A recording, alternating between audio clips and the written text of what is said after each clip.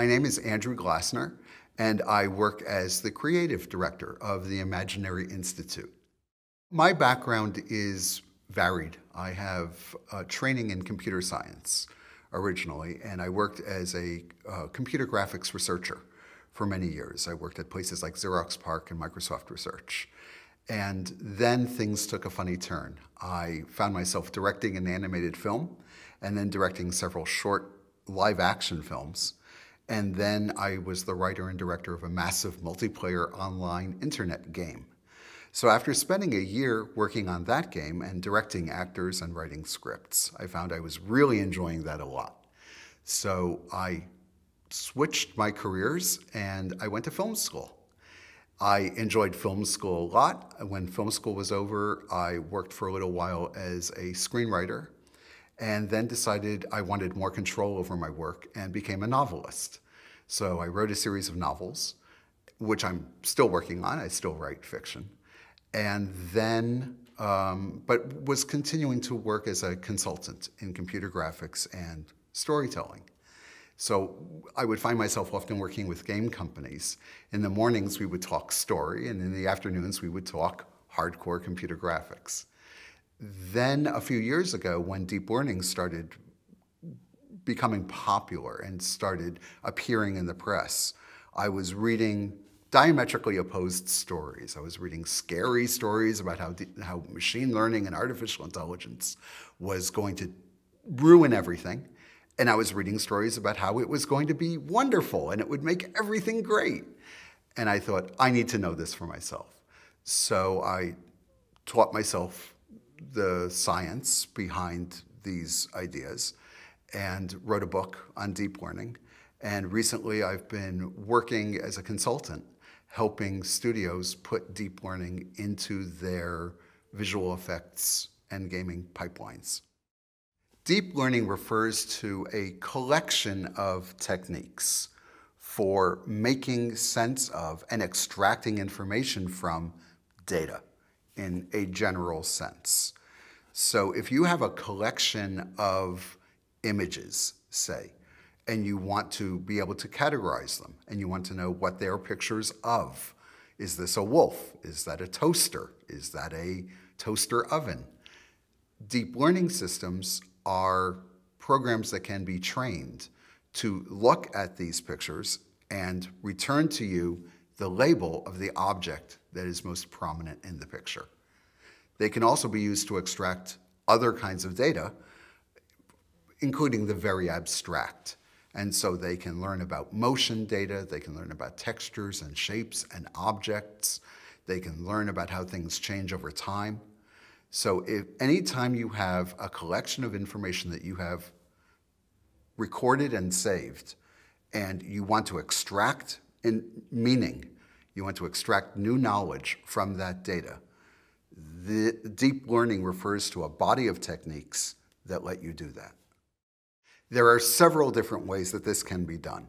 And rather than discuss them all, let me give you one in particular.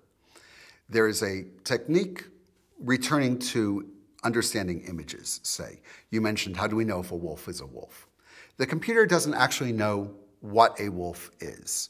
One important thing to keep in mind when people talk about deep learning is the word deep does not refer to deep understanding or deep knowledge. There is, in fact, no understanding and no knowledge of that sort in these systems. They're really very stupid. They don't have semantic knowledge of what they're working with in general. So, for example, if we want to know if a picture of a wolf is a wolf, we will have first trained the computer. We will have shown it many, many pictures of wolves. And we will have told it this is a wolf, this is a wolf, this is a wolf. Here are pictures of squirrels. This is a squirrel, this is a squirrel, this is a squirrel, over and over. The idea is that the computer learns for itself what to look for. It trains itself to find patterns in the images and in more abstract data, if that's what we're using, that allow it to make the distinctions we're asking for. So for example, if we want to know if a picture is of a wolf, the computer first often will train itself to look for low level features. It will look for little bright lines, little dark lines, little bright spots, just very low level features in the colors of the image. Then it will take those and combine them into larger structures, collections of bright dots and collections of dark dots. It might find a collection of four dark dots that are arranged in a little bit of an arc. Maybe that's a paw. Now it goes to a higher level and it says, Do I see any large black dots that are surrounded by four small black dots? If I can, that's a foot. And then so forth. It works its way up hierarchically. It's able to find fur that's arranged in a long line, and it might say that's a leg. And then if I can find a leg that's next to a foot, then that's a complete leg. And if there are four complete legs and there's a body and there's a head and there's a nose that's shaped in just this way, by working its way up to ever larger and larger structures, it is eventually able to say why the combination of elements that I have found match the combinations of elements that I saw when you showed me pictures that you said had the label wolf associated with them. So I will say that this too matches statistically those pictures. It has those kinds of qualities. So I will say this too is a wolf. It has no semantic knowledge. It has no deeper understanding of what wolves are and that they're beautiful when they run in the snow and how they act. It's just looking for these features in the pictures, in the pixels, accumulating those features and saying, what do those features correspond to in the examples I've been shown before? In fact, that information is never explicitly provided to the computer. The beauty of the whole system is the computer finds that information for itself. We do not have to tell it what to look for. It refines its understanding, and I'm using understanding in a very loose sense. There's no deeper understanding, but understanding in the sense of there is this collection of patterns that it is able to detect and combine like bright dots and dark dots and dots that are near one another and blobs that are close to one another. It learns, and this is why we call it deep learning or machine learning, by showing it millions of examples. Typically, for an image processing task like this, we would have millions of images, and we would show it to the computer over and over and over again. The computer, and we tell it what answer we want. When the computer gets it wrong, we change the algorithm a little bit. We change the numbers just a little bit because we know what answer we want it to give when we're training it. So first we train the system. We say, here's a picture of a wolf. What do you think it is? And the computer says, it's an apple. Say, no, it's not an apple and we change, or we don't, it changes itself. We write the program that directs how the change occurs. But then the change happens algorithmically. All the numbers in the algorithm change a little bit so that the next time it sees that picture, it's just a little bit more likely to say wolf than apple. Then we show it 1.2 million more pictures. And we do this over and over again. And then we show it the million pictures again. And every single time it gets it wrong, we adjust all the little numbers a little bit so that they're more like the answer we want to get out. And the hope is if we do this long enough, all those little adjustments will accumulate so that it is now more likely to give us the proper answer, the one we have determined is the right answer beforehand, on every example. A neural network is a collection of these tiny little bits of program that we call neurons. And as I've said, they're not really neurons like the neurons in our brain. They're just tiny little bits of programming that do a little bit of multiplication a little bit of adding, and then a little test. That little bundle we call a neuron. When we have lots of neurons, we take the output of one and provide it as input to another. That is a neural network when you have millions of them connected up in this way. The neural network is the name we give to the algorithm that performs that process. So you can say that the neural network is the program that does the learning. So we provide the picture of the wolf to the neural network. And again, this is just a program. It is just a big collection of these little bits of programming that we call neurons, and of course, some other programming as well. The neurons do their very simple little thing. They do some adding, they do some multiplying, they do a little test, and then they pass on their output to other neurons that do the same thing. This huge collection, this huge network of neurons is the neural network. So the picture comes in, the, if we have a picture of a wolf, then we have some thousands or millions of pixels, little dots of color. So we hand it that list of colors as inputs to the neural network. The neurons modify those, the neurons take those colors, add, multiply, do their little test, move them on, and ultimately some numbers come out the far end. And those numbers are, in this kind of a situation, the probabilities that the input image is a wolf or a toaster or a patio or an oven or a golden retriever and we just look at the list of outputs and we say, which is the most probable, which has the highest probability? That is the output of the neural network. That is the prediction of the program for what it thinks the numbers that were provided as an input are a picture of. One of the exciting things about using deep learning, artificial intelligence, machine learning, these technologies in visual effects is that we're still discovering how to use them best and where to apply them. And we're finding new applications all the time.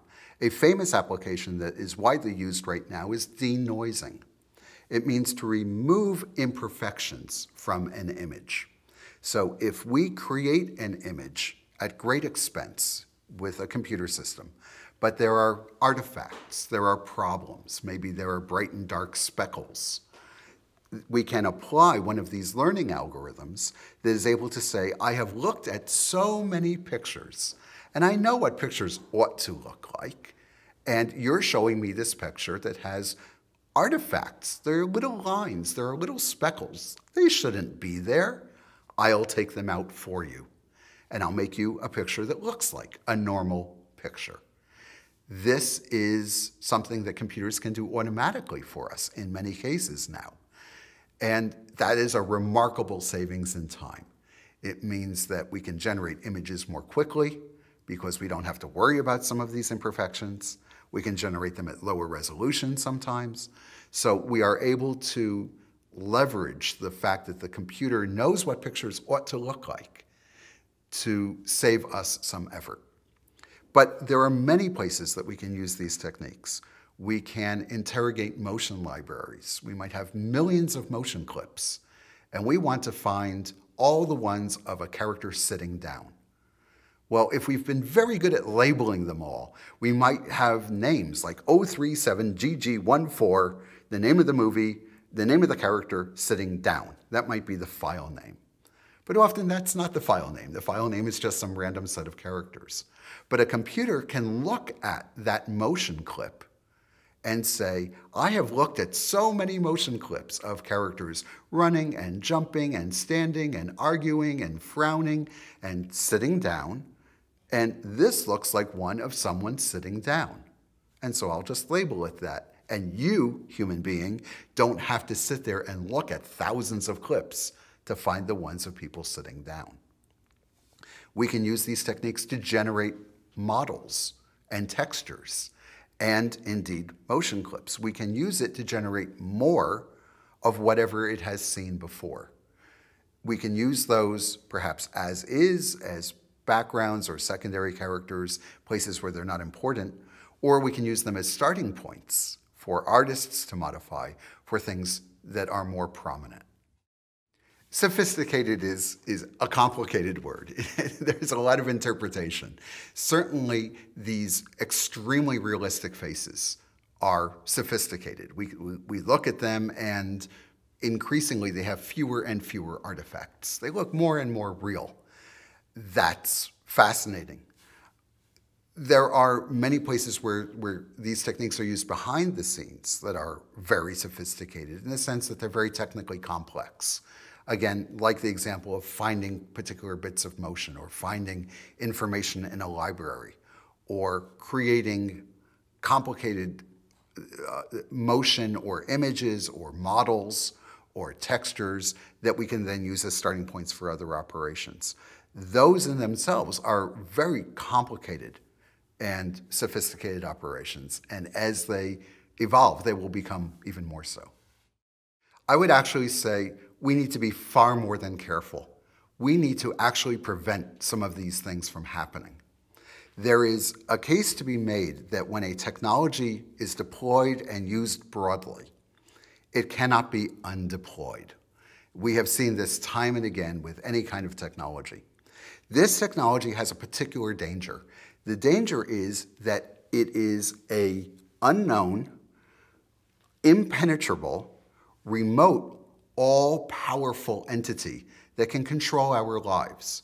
These systems can determine whether or not our children get into a particular school, whether or not we get a credit card, whether or not we get a loan, whether or not we're allowed to get a particular job or move to a particular city.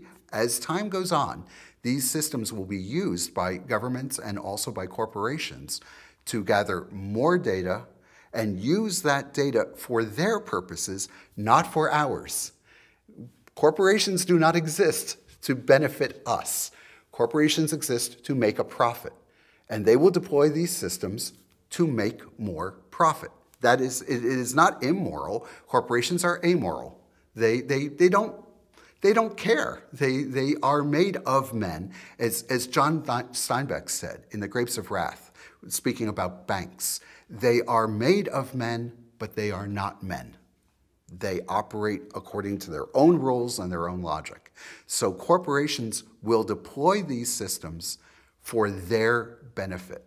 And we will find ourselves increasingly changing our behavior to accommodate these systems. After all, if you are the parent of a child and that child wants to get into a particular college, and the college admissions now are being done by human beings, and we sort of understand what most of them are looking for. And there are even counselors who will help children do particular extracurricular activities or take specific classes to make them look more attractive to a particular college. But when college admissions are being done by these deep learning systems that are using huge st statistical aggregates to determine if a child gets into school, that child is going to dramatically need to change their behavior to match what the system demands of them. In the same way, we will have to change our behaviors in many, many ways. If we want to get a new apartment, when we apply, the landlord sends the system into a deep learning system to determine if we're a good tenant. Well, if we want our tenancy application to be approved, then we have to live our lives in such a way that the computer out there somewhere is going to look at our data and say yes. If we want to get medical care, well, there are only so many surgeons our application is going to go to a hospital's deep learning system to determine who gets access to that particular kind of operation.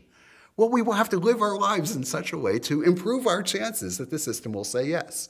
This will happen in terms of housing. And even now, these systems are being used to determine how long people go to jail. In the United States, deep learning systems are being used in courtrooms to determine if a particular defendant is likely to reoffend. And if they are, they are given a stiffer sentence, meaning longer time in jail. These are deep learning systems that are using statistics to make these predictions. We don't know what they were trained on.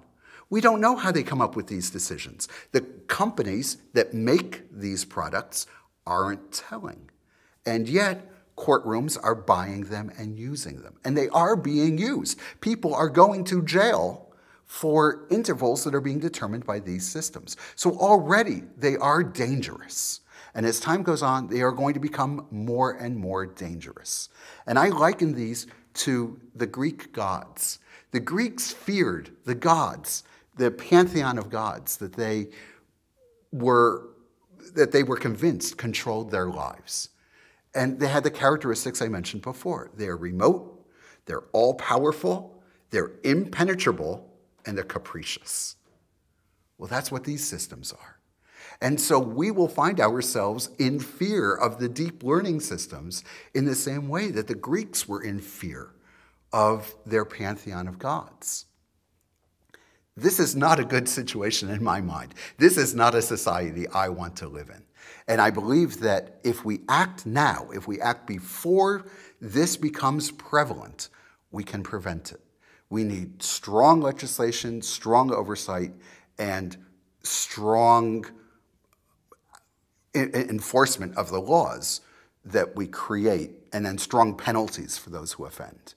Because as a culture, that's how we regulate behavior with laws. So we need to institute these, and we need to do it soon, and we need to do it with effort. Because once these systems get deployed, they will be so profitable and so efficient, it will be very difficult, if not impossible, to claw them back.